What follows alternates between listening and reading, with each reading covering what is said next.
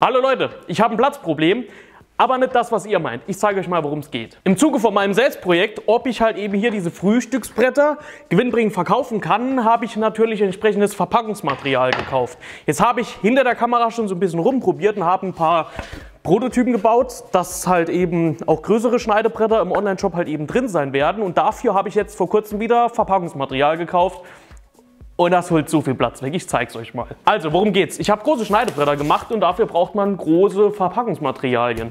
Damit die nicht ganz, ganz teuer sind pro Stück, habe ich natürlich direkt ein paar mehr bestellt, wobei das hier immer noch relativ wenig ist. Und die sind halt eben super groß. Die holen super viel Volumen in Anspruch. Und dafür will ich ein Regal bauen, was halt eben das Ganze ein bisschen löst. Im Zuge, im Zuge, im Zuge dessen habe ich jetzt auch wieder weitere neue Produkte, die man individualisieren kann. Das sind zum einen Schieferplatten, darum geht es heute aber auch nicht. Das bedeutet, ihr merkt viel Ware, die halt eben auch von hier versendet wird.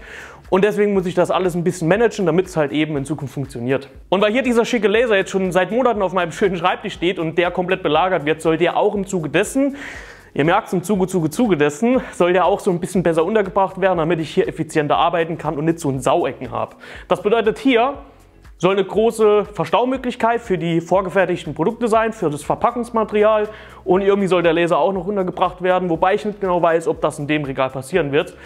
Und dafür müssen wir jetzt was bauen. Zum Glück habe ich die Pendelsäge, denn damit geht es jetzt los. Hauptschalter ein!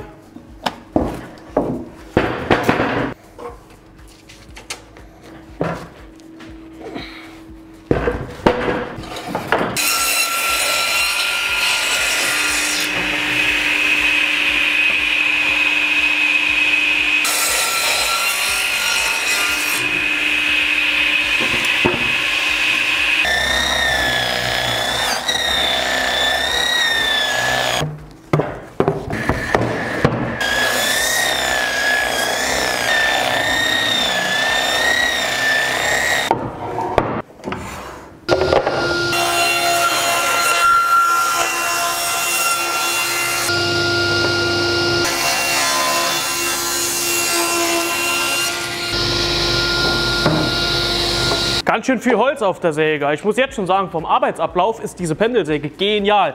Gerade hier bei diesen Fichtenbohlen, das waren Baubohlen, da waren jetzt ein paar dabei, wo ich halt eben diese Betonreste nicht wirklich gut wegbekommen habe. Ich hole euch mal ein bisschen näher ran. Hier sieht man es, ich habe hier relativ lange hier mit dem... Äh, mit diesem Bürstgerät auf einer Stelle rumgejagt und äh, hier sind dennoch ziemlich große Betonreste noch drauf geblieben. Und da bin sogar ich nicht schmerz genug frei, um die noch durch die Hobelmaschine zu knallen. Äh, was meine ich damit? Für die Leute, die nicht so lange dabei sind, ich habe hinten eine Hobelmesser-Schärfmaschine, aber ich weiß, dass wenn ich das da hobel, das dann schon extrem krass sein wird. Äh, normalerweise ist es so, wenn man solche Baubohlen auf den Messern hobelt, kann man danach schon noch was arbeiten. Man merkt, dass sie nicht mehr so scharf sind, aber diese Betonreste würden definitiv die Messer extrem ruinieren und das ist sogar mir dann zu viel, das ist also Brennholz. Apropos Hobeln, da geht's jetzt los.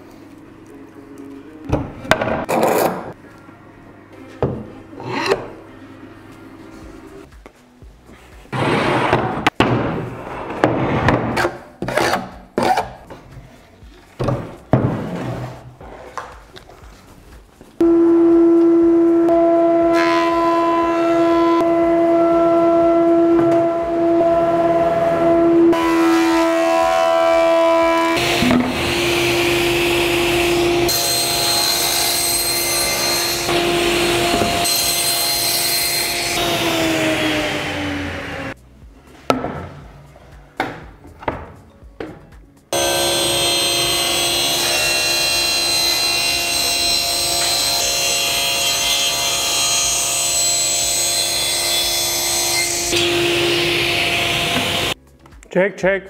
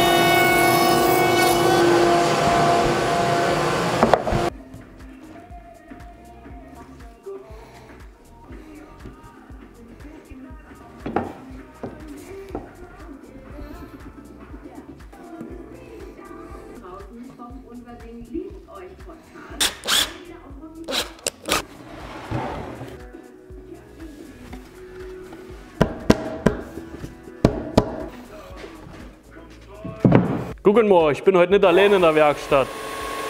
Wink mal.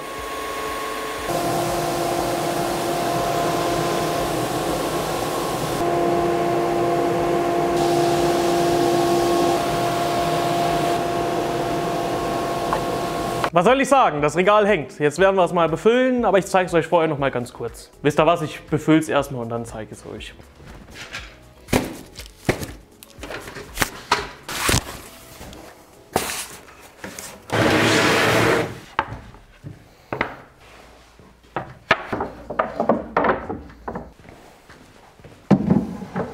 Teil 1 meines neuen Arbeitsplatzes ist eigentlich schon fast abgeschlossen. Ich habe jetzt jede Menge Stauraum, auch bis unter die Decke, gerade für die Kartonagen, die ich dann ein bisschen länger lagern kann. Oben ganz auf dem Regal.